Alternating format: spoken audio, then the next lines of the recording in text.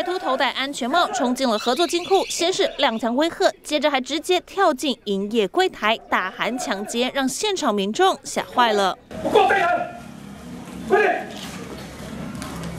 歹徒不断挥舞手枪胁迫行员交出现金，还大肆搜刮行员的抽屉。就在他准备逃离现场时，疑似因跳出柜台脚步没站稳，保全人员抓紧时机，立刻冲上前与歹徒扭打。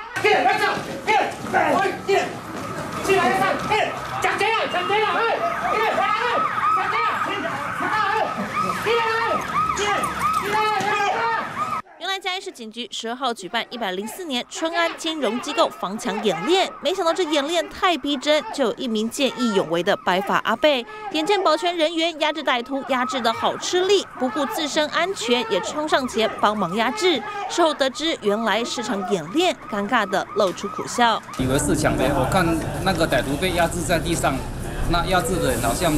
力道还不是够，就帮他压下去。演练真的是太逼真了，让民众以为是真的是假戏真做了。那被见义勇为协助压制歹徒，虽然只是防抢演练，但就怕过年期间民众现金需求及流通增加，歹徒会伺机行抢。借由防抢演练，不仅能加强金融机构的危机应变能力，还能加强远景处理突发事故的机动性。记者侯国文、张信加以报道。